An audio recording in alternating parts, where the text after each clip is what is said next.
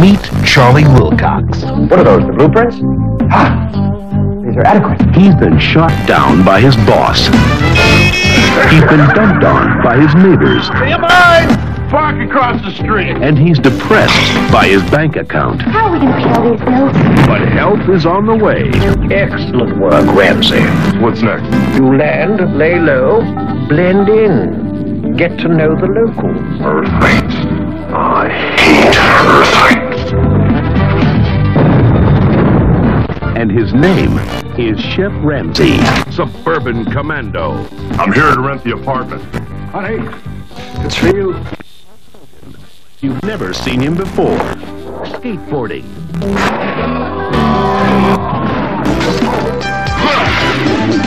Grocery shopping. You have to squeeze it a bit, and the softer the better. Wow, I found a good one.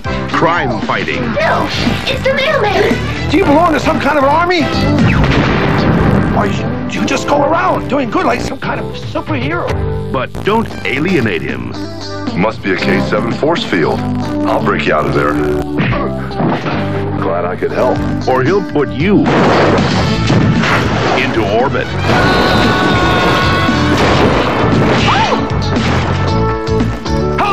Supposed to know that you were some sort of alien Rambo?